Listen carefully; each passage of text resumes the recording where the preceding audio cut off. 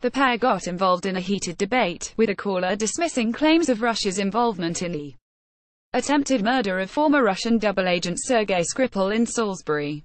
Mr. Skripal and his daughter Yulia remain in critical conditions following a targeted attack with a Russian-produced nerve agent on March 4, after listening to David defend the Kremlin from claims of involvement in the attack. Mr. Dale hit back, branding the man a disgrace to the country. The radio host said, Do you know what?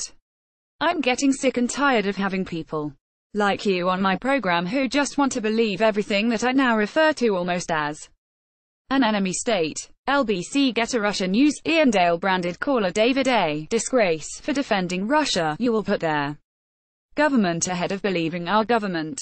You're a disgrace to your country, David. Earlier this week, Prime Minister Theresa May revealed that preliminary investigations showed that Russian involvement in the Skripal case was highly likely, and latest announced the expulsion of 23 Russian diplomats from Britain. The LBC presenter continued, Why is it that people like you David always give the Russians the benefit of the doubt? I look at their track record and lying is what they've done for the last five or six years on international affairs, on these kinds of murders, on virtually everything, they have lied through their teeth.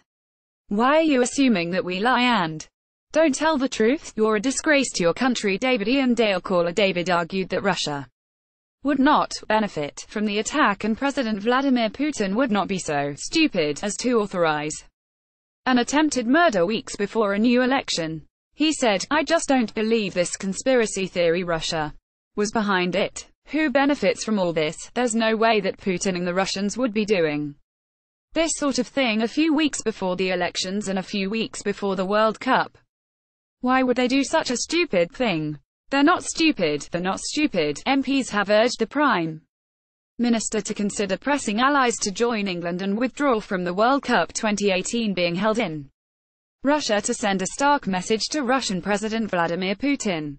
Ministers are understood to be keen to demonstrate that Britain is a democracy where the government does not tell sporting organisation and other civil bodies what to do in contrast to the dictatorial behaviour of President Putin's regime.